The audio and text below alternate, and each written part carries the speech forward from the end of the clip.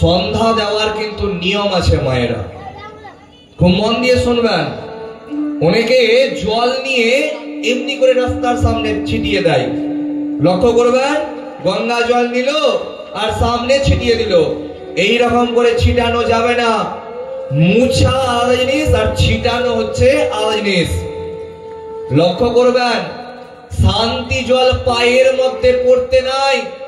ওই জন্য পা ঢেকে আপনারা বসেন। আমি কষ্ট করে কাউকে ডাকি না। যেখানেই আসরে যায় নিজে আসর থেকে নেমে গিয়ে গিয়ে দিয়ে আসি।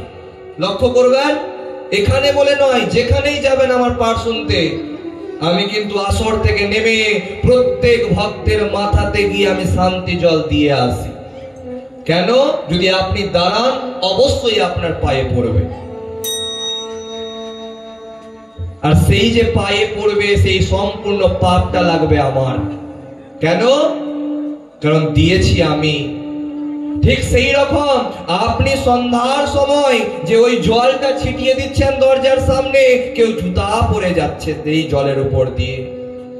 এমনকি বাড়ির লোকগুলো জলের উপর দিয়ে হেঁটে হেঁটে যাচ্ছে, জুতা পরে যাচ্ছে। করলে চলবে না। লক্ষ্য করবেন, আপনাদের বাড়িতে সত্যনারায়ণ পুজো হতে গেলে সেই সত্যনারায়ণ পুজোর ঘরটা মাথাতে রেখে তার উপরে ঘোমটা দিয়ে সামনে দিয়ে জল ছিটিয়ে ছিটিয়ে উলুধ্বনি নিয়ে নিয়ে যাওয়া হয়। কেন?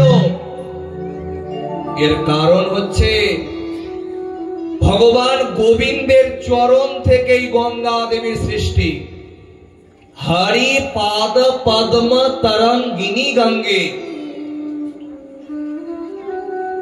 যারা টুয়েলভে সংস্কৃত নিয়ে পড়েছেন, তারা কিন্তু শ্রী গঙ্গা স্তোত্রম পড়েছেন। সেখানেই কিন্তু আছে যে, হরি পাদ পদ্মা তরঙ্গিনী গঙ্গে হরির চরণ থেকে গঙ্গা দেবীর সৃষ্টি। সেখান থেকে আসলো কোথায়? ব্রহ্মার কমণ্ডলুতে। সেখান থেকে আসলো শিবের জটাতে। সেখান থেকে ভগীরথ নামের ভোপাল। তার পূর্বপুরুষকে উদ্ধার করার জন্য মর্তের মধ্যে গঙ্গা দেবীর আনয়ন করেন। কিন্তু আমরা তো জল ছিটিয়ে ছিটিয়ে দিই, তবে দিব কেমন করে? দরজার কোনা কোনাতে দিতে হবে জল, যাতে কারও পায়ে না পড়ে। সন্ধ্যার সময় আপনারা দেখবেন আরতি, সন্ধ্যা আরতি করেন। করেন তো, সবাই করেন তো? যেমন তেমন করে ঘুরিয়ে সিরিয়াল দেখতে বসতে গেলেই হলো। কিন্তু নিয়ম হচ্ছে ঠাকুর ঘরে আগে আসন পেতে আগে বসে জব করতে হবে। ওই জন্য কালকে বলেছিলাম, চব্বিশ ঘণ্টার মধ্যে চব্বিশ মিনিট তো দিবেন ভগবানকে। জব করতে হবে। জব করার পর আরতি করার নিয়ম আছে। খুব মন দিয়ে শুনবেন মায়েরা। কারণ আপনারাই সন্ধ্যা দিয়ে থাকেন। শাস্ত্রের মধ্যে বলা হচ্ছে, আদৌ চতুষ্পদতল প্রদেশে তীর্ণাভি দেশে মুখমণ্ডলে ত্রিহি সর্বেষু চ অঙ্গেষু সপ্তবারান আরাত্রিকাং ভক্ত জনঃ প্রকুরিয়াত। অর্থাৎ ভগবানের চরণ সমীপে চারবার কবার ঘুরাতে হবে? ভগবান চরণে চারবার। নাভি দেশে দুইবার। খুব মন দিয়ে শুনবেন কিন্তু যাতে মুখস্থ হয়ে যায়। চরণ সমীপে চারবার। নাভি দেশে দুইবার। মুখমণ্ডলে তিনবার। আর সর্বাঙ্গ শরীরে কবার? সাতবার। মোট হবে ষোলো বার আরতি।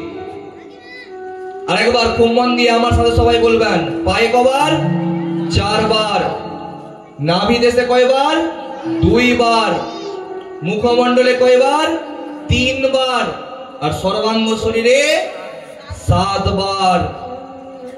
কিন্তু ঢাকের তালে তালে যেসব পুরোহিত মশাইরা ওই পঞ্চপ্রদীপ নিয়ে নাচছে, তাকে কে বুঝাবে?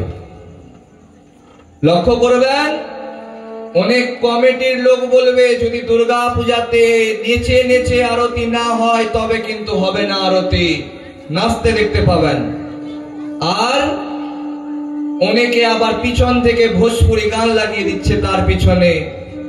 টুনির মা গান লাগিয়ে দিল, আর থেকে পুরোহিত মশাই নাচছে। লক্ষ্য করবেন? কিন্তু নিয়ম কি? যে ডান পা থাকবে আসনের মধ্যে, বাম পা থাকবে আসনের বাইরে। এক হাতে ঘণ্টা থাকবে আর এক হাতে আরতি করতে হবে। এই হচ্ছে আরতির নিয়ম। সেখানে কেউ কিন্তু দেখেই ভক্তি লাগবে, সেখানে দেখে হাসি লাগবে না। ওই জন্য আপনাদের কাছে করজোরে অনুরোধ, কোনোদিনও যদি দেখতে পান যে এই রকম অশাস্ত্রীয় নিয়মে আরতি হচ্ছে, মুখের উপরে বলবেন, সেখানে ভগবান আপনাকে পুণ্য দিবে, পাপ কখনো দিবে না। কারণ আপনি মানুষকে শিখাচ্ছেন, আর জ্ঞান দিতে গেলে বাড়ে যদি মানুষের মধ্যে থেকে যায় সেটা বাড়ে না। প্রেম সে বলিয়ে রাধে রাধে রাধে রাধে। ওই জন্য বাড়িতে আরতি করার সময় এই নিয়মেই করবেন। মনে থাকল তো সবার কথাটা আমার? চার, দুই, তিন, সাত। মোট হচ্ছে ষোলো বার।